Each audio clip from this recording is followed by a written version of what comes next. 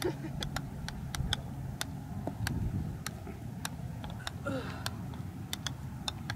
you get it? Uh-uh.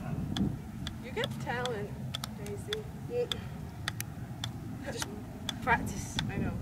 That's a lot of time on par threes waiting. All the guys always forget how to go first